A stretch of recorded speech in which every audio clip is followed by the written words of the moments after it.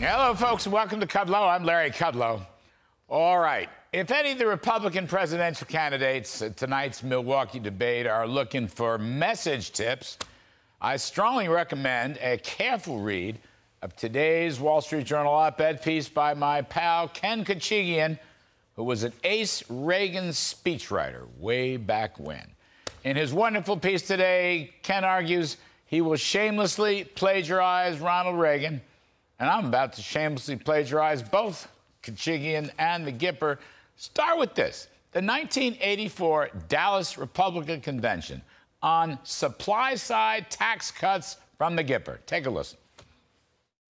Our tax policies are and will remain pro work, pro growth, and pro family.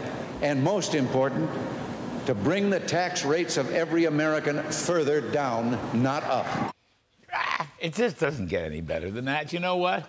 Now, wait a second. That was good. Pretty good. But this next one is off the charts awesome. Take a listen. If we bring them down far enough, growth will continue strong. The underground economy will shrink. The world will beat a path to our door. And no one will be able to hold America back. And the future will be ours. There you go, folks. There you go, debaters. Prosperity, period. Positive, period. Growth, period. No one will be able to hold America back, period. The future will be ours, period. Can't beat that. And Ken Khachigian also quotes President Reagan at the August 1988 Republican Convention when the Gipper says, and I'm going to quote, We left with a mutual pledge to conduct a national crusade to make America great again. Period. End quote. Folks, ever heard that line before? Make America great again? Well, it's Reagan vintage 1988. Think of it. Now, Anybody looking for more debate tips? Okay. How about the failure of Bidenomics? High inflation, stagnant growth, zero affordability, central planning, big government spending. Want some more? How about drill baby drill, slash costs and promote growth? Return to an all the above energy policy.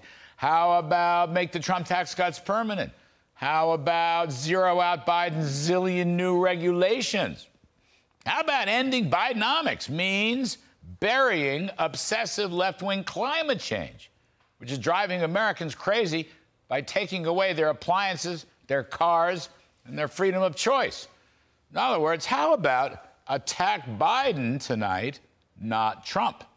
Go after the Biden scandals, defend freedom of speech, argue against a two tier justice system, which is now aimed at Trump and Republicans, but I'll tell you, it's coming to a theater near you for ordinary American folks.